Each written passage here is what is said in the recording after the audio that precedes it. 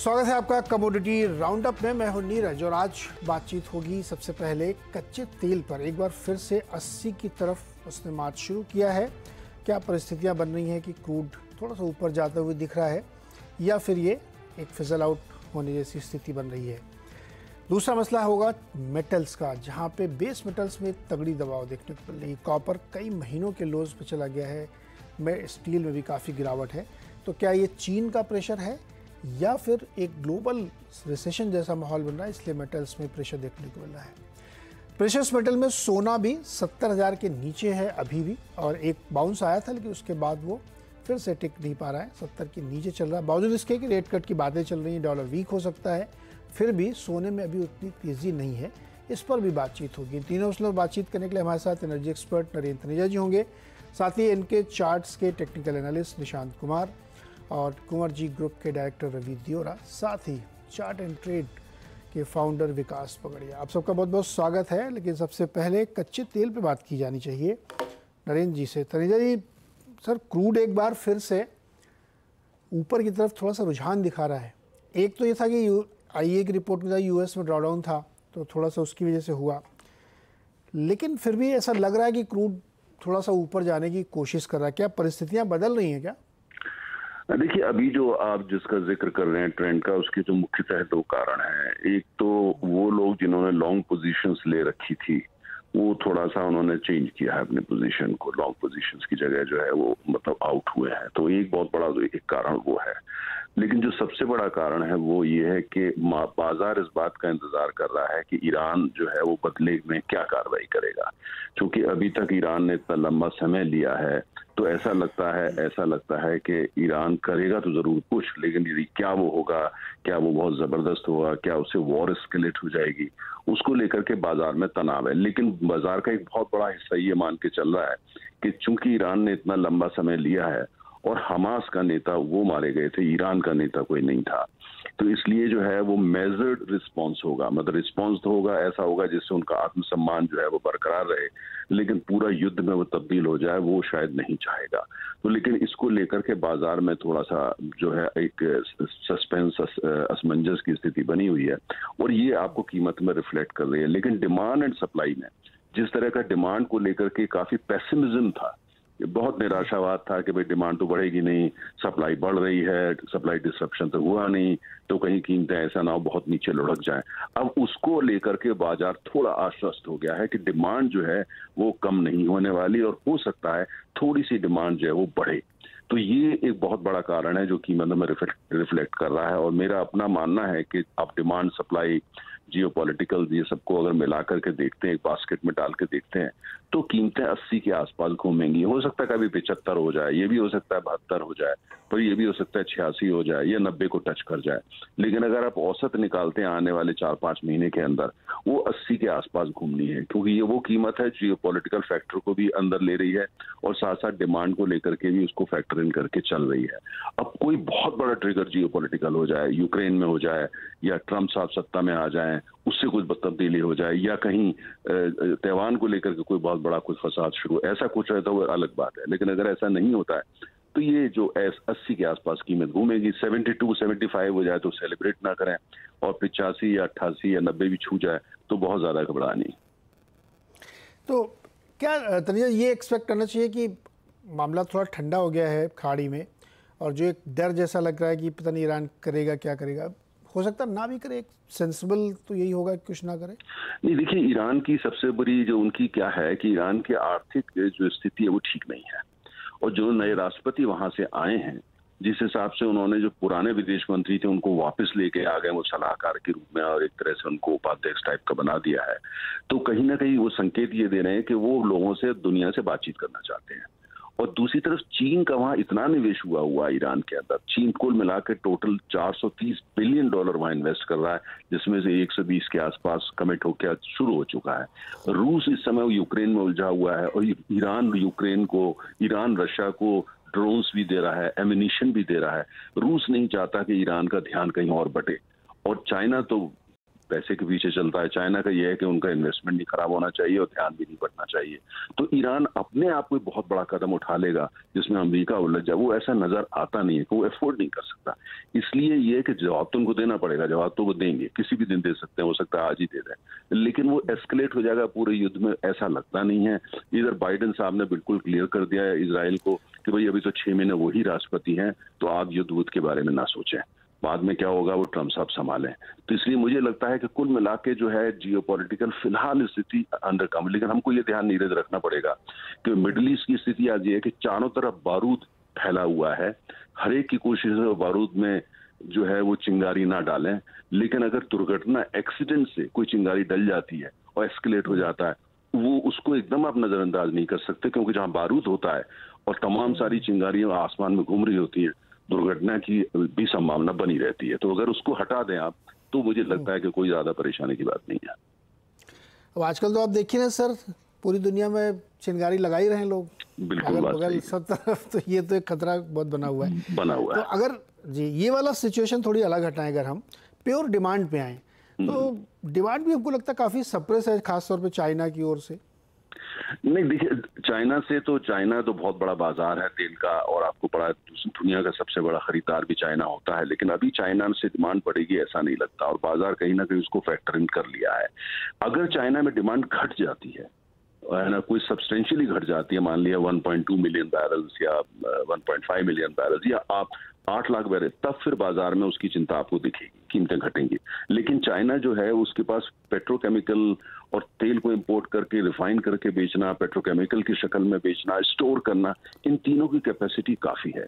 तो चाइना कोई बाज़ार को या दुनिया को ये मैसेज नहीं देगा क्योंकि तेल की डिमांड कम हो गई अर्थात चीनी अर्थव्यवस्था जो है वो बहुत ज़्यादा परेशानी है। तो चाहे वो उठा करके अपने स्टोर में तेल को रख ले या वो पेट कैम्प बना करके उसको स्टोर कर लेगा लेकिन चाइना इस बात का बड़ा ध्यान रखेगा कि गलत मैसेज दुनिया में ना चला जाए। तो मुझे अभी उसको लेकर बहुत चिंता नहीं है। हालाँकि चीनी अर्थव्यवस्था जो है वो कहीं ज़्यादा परेशानी में जितना के बाज़ार आंक रहा है। जी। सच ढूंढना ही बड़ा मुश्किल काम है क्रूड के बारे में क्या सच्चाई क्या होगी? सर सर बहुत बहुत शुक्रिया जानकारी देने के लिए। अब चलते हैं रवि के पास और विकास के पास। रवि जी पहले तो आप बताइए सर क्या लग रहा है क्रूड में डोमेस्टिक मार्केट में ट्रेडर्स को क्या करना चाहिए? लॉन्ग शॉर्ट में कुछ है बढ़िया ट्रेड? से आपने जो डिस्कशन किया, वही स्थिति अभी क्रूड में बनी हुई है, क्योंकि प्राइसेस में थोड़े फंडामेंटल इंप्रूव हुए बट प्राइसेस ने रिएक्शन भी 6100 से 6400 तक ले लिया है। आज जो नीचे है उसका रीजन है कि अर्ली मॉर्निंग एक न्यूज़ आई थी। इसराइल अभी मीन्स नेगोशिएशन के लिए रेडी हुआ है हमास के साथ, और एक वहाँ पे पंद्रह अगस्त को एक उसका डेलीगेशन है, वो नेगोशिएशन में जाएगा। तो अगर कुछ इसमें पॉजिटिव निकल के आता है तो क्रूड में थोड़ा प्रॉफिट बुकिंग यहाँ से दिख सकता है। आई थिंक ये एक सबसे बड़ा फैक्टर है। ऊपर क्यों आए क्रूड क्योंकि काफ़ी एक्सपेक्टेशंस थी कि यूएस की इन्वेंट्रीज काफ़ी लोअर रहेगी बट हाई रहेगी बट इस वीक में जो इन्वेंट्री के एपीआई एंड दोनों ई e के इन्वेंट्री के डेटा आए, वो डेटा काफ़ी ऑप्टिमिज्म के साथ आए। नेक्स्ट मंथ नेक्स्ट वीक में जो ओपेक का रिपोर्ट आएगा, इसमें डिमांड को लेकर काफ़ी जो परिस्थिति है, वो साफ़ होगी। हालाँकि आज सुबह चाइना के जो मैक्रो डेटा है वो काफ़ी सपोर्टिव है। आई थिंक काफ़ी टाइम के बाद जो डिफ्लेशन का खतरा था, वो टला है। तो मुझे लग रहा है कि इस हिसाब से प्राइसेस नीचे नहीं आ रहे। ऑप्शन का यूज़ करें जब तक की स्थिति क्लियर नहीं होती। जिसमें मुझे लग रहा है कि सिक्सटी फोर हंड्रेड के स्ट्राइक के आपको कॉल ऑप्शन लेके ट्राई करना है क्रोड में जो हंड्रेड के करीब चल रहे बाय करें with stop loss of 60 and target would be 188 okay Vikas ji आप क्या करेंगे कच्चे तेल में? सर देखिए अगर फंडामेंटली और जियोपॉलिटिकल तो सबने डिस्कस कर लिया।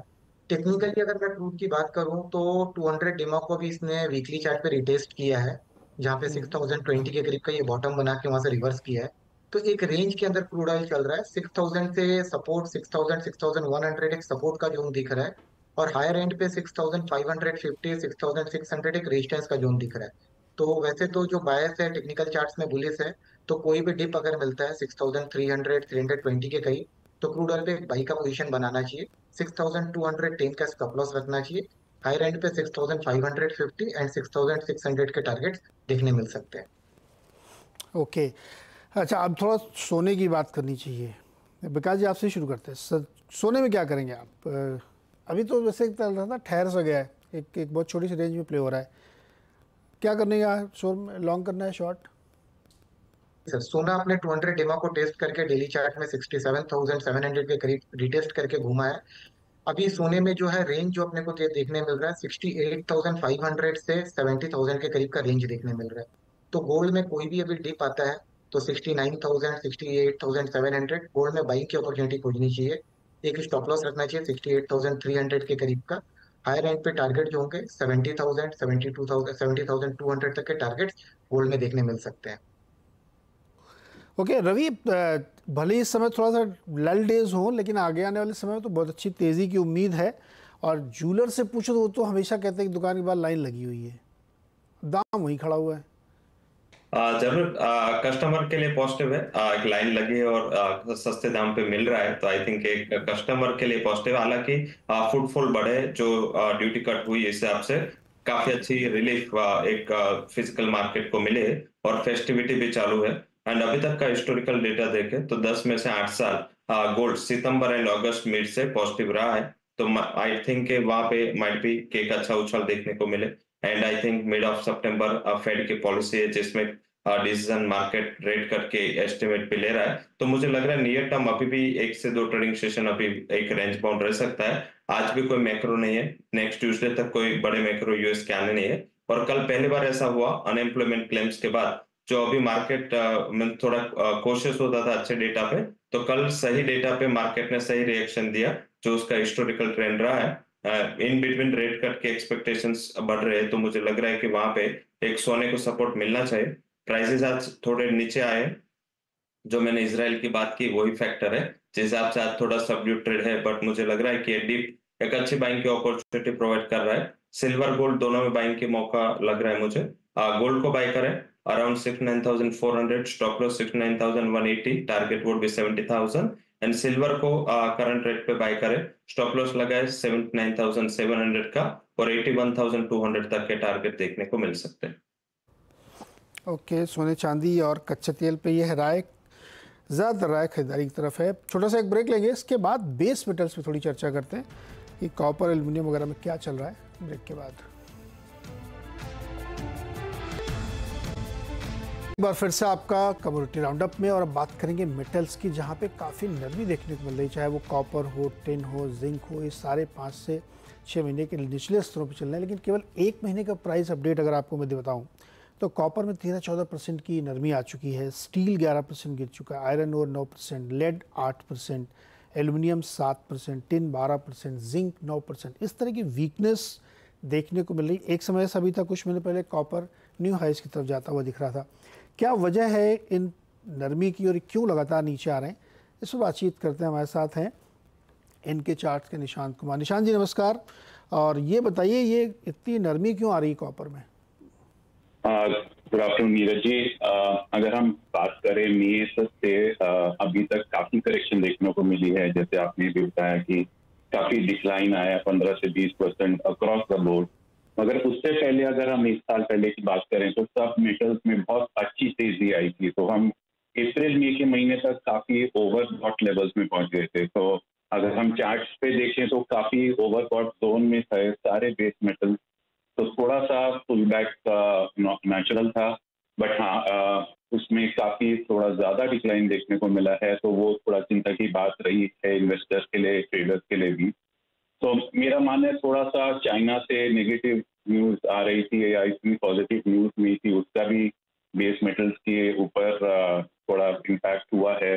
तो क्रॉस द बोर्ड इतने अच्छा न्यूज़ नहीं आ रही थी क्रॉस फ्रॉम द वर्ल्ड तो बेस मेटल्स थोड़ा सा करेक्शन जो हमने तेज़ी पहले बनती देखी थी चाइना में पॉलिसी डिसीज़न थोड़े फेवरेबल हो रहे थे रेट थोड़े रिड्यूस हो रहे थे, उसकी वजह से सपोर्ट मिल रहा था बट वो मार्केट ने डाइजेस्ट किया और फिर थोड़ा सा पुल बैक देखने को मिला है। अभी अगर अभी की हम बात करें तो अच्छे लेवल्स हैं यहाँ पे मार्केट में अच्छा सेटअप बन रहा है इधर। तो एक बॉटम इस्टेब्लिश हो रहा है इन सब मेटल्स में। थोड़ा सा कंसोलिडेशन फ़ेज़ है बट मेरे ख्याल से द वर्स्ट इज़ ओवर अच्छा फंडामेंटल रीजन में मुझे ये भी समझना आपसे कि क्या जो रेट कट की संभावनाएँ बन रही यूएस में, उसका कोई असर होगा? नीरज जी बिल्कुल पॉसिबल है 25 बेसिस पॉइंट्स हो सकते हैं सितंबर एफओएमसी में। तो एक, वहाँ से भी मेटल्स को सहारा मिलने का चांसेस है। दूसरा, जो मैं देखता हूँ जापान के सेंट्रल बैंक ने जैसा एक्ट किया रेट बढ़ाने की बातें हो रही हैं जापान में अब काफ़ी सालों बाद, उससे डॉलर इंडेक्स में थोड़ी सी वीकनेस आती हुई दिख रही है। तो एक तरफ़ यूएस घटाने की बात कर रहा है और दूसरी तरफ़ जापान बढ़ाने की बात कर रहा है। तो उससे डॉलर इंडेक्स पे प्रेशर आने की बिल्कुल संभावना है। और अगर डॉलर इंडेक्स वीक होता है तो आप उससे मेटल्स को अच्छा सपोर्ट मिलेगा। निशा जी बहुत बहुत शुक्रिया जुड़ने के लिए और बचा बताने के लिए। रवि और विकास जी रवि जी बताइए भाई कॉपर में आपकी टॉप ट्रेड क्या है इसमें कॉपर माफ़ कीजिए मेटल्स में मेटल्स में टॉप ट्रेड क्या है आपकी? ज़रूर से आई थिंक पर्टिकुलर जो आप बात कर रहे थे एंड फंडामेंटल का एक और फैक्टर होगा। नेक्स्ट वीक में चाइना के industrial production and retail sales के नंबर आने। ऑप्टिमिज्म वहाँ से है, क्योंकि काफ़ी अच्छे डेटा आने की उम्मीद है। मुझे लग रहा है कि आज से लेके नेक्स्ट जब चाइना के मैक्रो आएँगे, तब तक थोड़ा एक शॉर्ट कवरिंग का मूड बेस मेटल्स में रहेगा। मुझे लग रहा है कि वैसे जो करेक्शन था या करेक्टिव मोड था, वो शायद ऑलमोस्ट खत्म हो चुका है, और शायद मार्केट सितंबर तक वेट भी नहीं करेगा। पॉलिसी आने के बाद मीन्स के वहाँ पे ट्रेड बने। मुझे लग रहा है कि प्राइसेस अपने बॉटम के काफ़ी करीब है तो एक्यूमुलेशन करना चाहिए चाइना ड्रिवन फंडामेंटल पे मुझे लग रहा है कि आगे थोड़ा शॉर्ट कवरिंग आ सकता है। तो चाइना ड्रिवन फंडामेंटल पे दो बेस मेटल आपने पहले कॉपर जो पॉइंट आउट किया था, वही मेरी टॉप पिक रहेगी। कॉपर 777 पे बाई करे स्टॉप लॉस लगाए 767 टारगेट वोट भी 790 एंड जो सेकंड पिक रहेगी वो है जिंक जिंक में भी काफ़ी अच्छी सपोर्ट दिख रही है। एंड चाइना के रियल एस्टेट मार्केट के साथ काफ़ी अच्छा कोरिलेशन है। मुझे लग रहा है वहाँ पे एक बाउंस दिखना चाहिए। 250 250 पे बाई करें। स्टॉप लॉस लगाए 250 का और 257 तक के लेवल की उम्मीद करनी चाहिए। कॉपर और जिंक दो में आप कह रहे हैं कि बाई की जा सकती है यहाँ से। ऊपर की तेज़ी देखने को मिलेगी। ओके रवि, बहुत बहुत शुक्रिया जुड़ने के लिए और बातचीत करने के लिए। तो ये था हाल आज कमोडिटीज़ का कॉपर का अलग अलग कमोडिटीज़ का जिंक का भी कॉल भी दी इन्होंने और कच्चे तेल का। तनेजा जी बता रहे हैं पचहत्तर से अस्सी की रेंज में घूमेगा।